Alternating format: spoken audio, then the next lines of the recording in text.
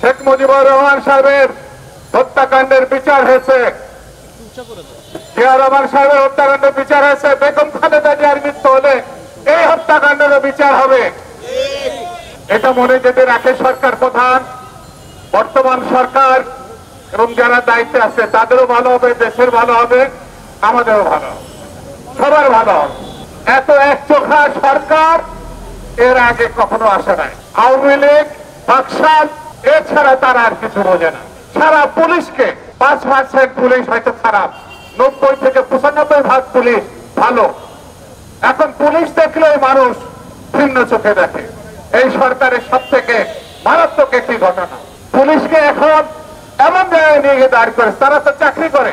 তারা নিরাপত্তা কর্মী। এই সমাজে না থাকলে পরে এই সমাজ শান্ত থাকবে না, কিন্তু পুলিশকে যেভাবে হোক ধ্বংস করে ফেলে প্রশাসনের যারা চাকরি করে ফাইভ পার্সেন্ট প্রশাসনের লোক, দুষ্টু, খারাপ দুর্নীতিবাদ পঁচানব্বই ভাগ ভালো। কিন্তু পাঁচ পার্সেন্ট জন্য টোটাল প্রশাসন নষ্ট হয়ে গেছে। ব্যবসায়ী যারা লুটপাট করতে পারে, তার সঙ্গে খুব বেশি না। সরকারের সঙ্গে যারা আঘাত করে চলে, তারাই করে। বাকি সব ভালো লোক, ব্যবসায়ীরা। তাদেরকে লুটেরা দুর্নীতিবাদ হিসাবে চিহ্নিত করে ফেলেছে। ভয়ঙ্কর ব্যাপার। কেউ কিছু কথা বলতে পারে না ভয়ের ভাসছে বাংলাদেশ। আপনি চিন্তা করতে পারেন, একটা মাত্র নোবেল এটা আমাদের। সেটা আছে ডক্টর ইউনুস রবীন্দ্রনাথকে মাথায় করে রেখেছে। আর ডক্টর ইউনুসকে আপনার কি শুরু করেছে সারা বিশ্ব তার পক্ষে, সারা বাংলাদেশ তার পক্ষে, শুধুমাত্র সরকারের কতিপয় গুটি কয়েক তার বিপক্ষে। আপনি বলেছেন আইনমন্ত্রী সাহেব এ একটা চিজ বটে। এমন এমন কথা বলে যার কোনো ভিত্তি নাই। আইনমন্ত্রী কি বলেছে কোন রকম তার পক্ষে কথা বললে অসুবিধা নাই। ইমরান ইমরান সাহেব কে বলেছে